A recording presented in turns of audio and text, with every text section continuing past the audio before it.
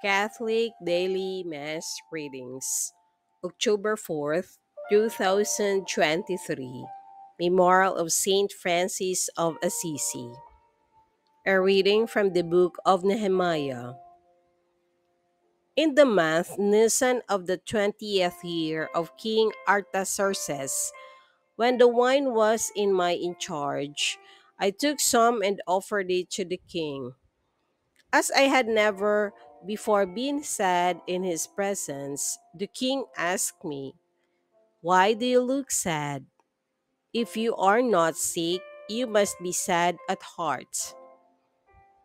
Though I was seized with great fear, I answered the king, May the king live forever. How could I not look sad when the city where my ancestors are buried lies in ruins and its gates have been eaten out by fire? The king asked me, What is it then that you wish? I prayed to the God of heaven and then answered the king. I asked the king further, If it please the king, let letters be given to me for the governors of west of Euphrates, that they may afford me safe conduct until I arrive in Judah.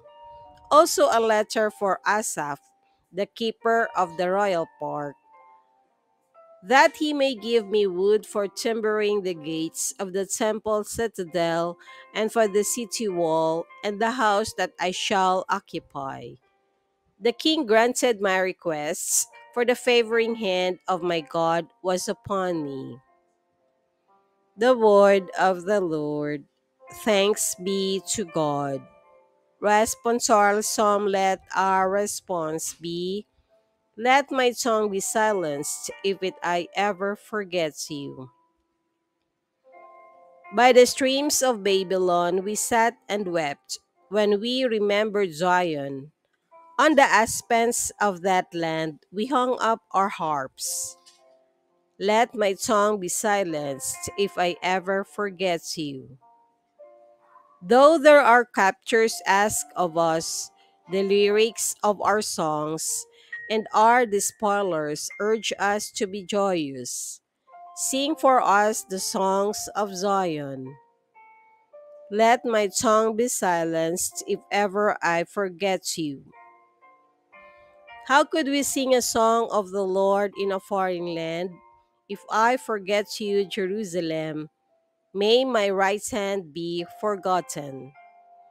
Let my tongue be silenced if ever I forget you. May my tongue cleave to my palate if I remember you not, if I place not Jerusalem ahead of my joy. Let my tongue be silenced if I ever forget you.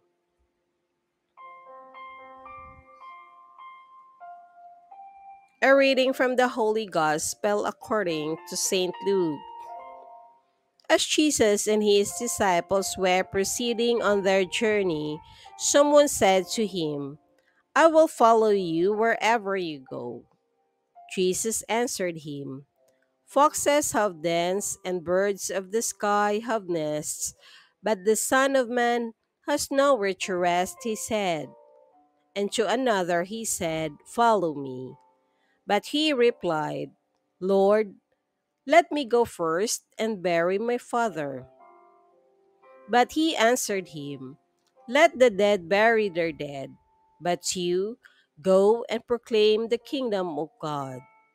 And another said, I will follow you, Lord, but first let me say farewell to my family at home. Jesus answered him, No one who sets a hand to the plow and looks to what was left behind is fit for the kingdom of God. The Gospel of the Lord. Praise to you, Lord Jesus Christ.